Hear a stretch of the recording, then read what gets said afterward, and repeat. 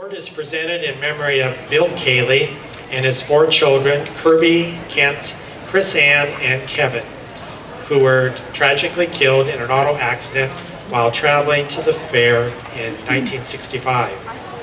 And I actually, uh, we had a phone call at our office yesterday, and it was from Bill Caley's sister, who lives north of Markle, and she is 88. And uh, she was just calling, she knew the fair was happening, and asked whether the award was still going. So we, we kind of chatted, and I had met her before, but I'd never really talked to her.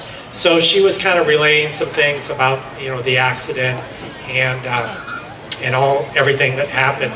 So it will be uh, next year. It will be 50 years since that uh, accident happened.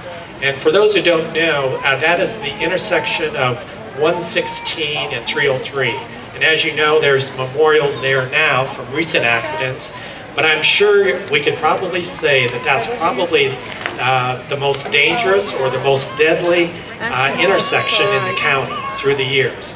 Uh, not only did uh, the Caley family lose um, five people that night, but two years prior, uh, Bill Caley lost his parents and his aunt and uncle at the same intersection uh, with, a, with an accident. So four people two years earlier, and then uh, five people uh, with the Caley family.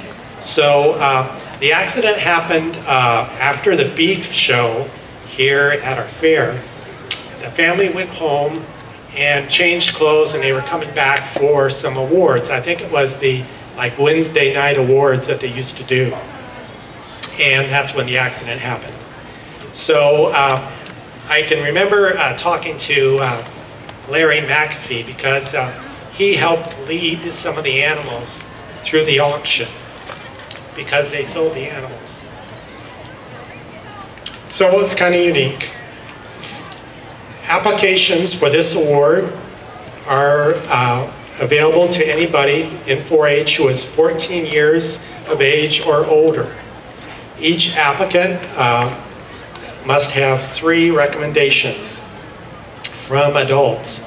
Selection is done by a committee of five individuals appointed by the 4-H Association. And these names, uh, all the names on the applications are taken off so that the committee does not know who is in contention.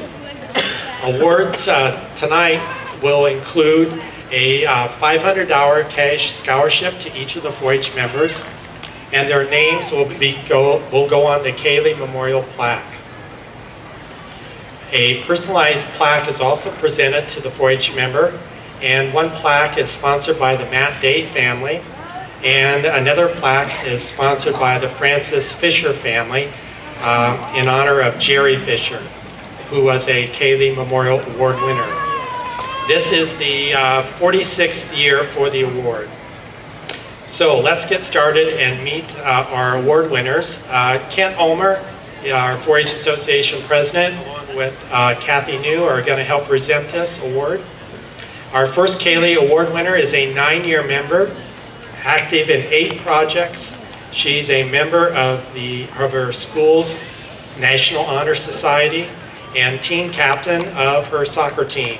She serves as a Sunday school teacher, uh, coach of upward basketball, and active in her church youth group. Please join me in congratulating our first award winner, Alexandria Huffman.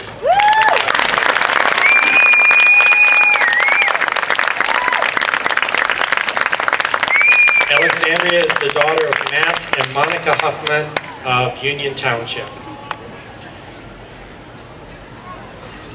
Our next Caley Memorial Award winner is a 10-year member who has been active in six different projects. He has served as president of his 4-H club and assisted in obtaining a Youth as Resources grant. He has coached uh, uh, basketball for uh, kindergarten through second helped with basketball camps, volunteered for Caring for Kids Christmas Families, and assisted with the Feeding Tomorrow's Future Today food packs for hungry kids. He's also served as president of his uh, National Honor Society and as a member and officer of the Student Council at his school. Please congratulate our second Caley Award winner, Brent Bales.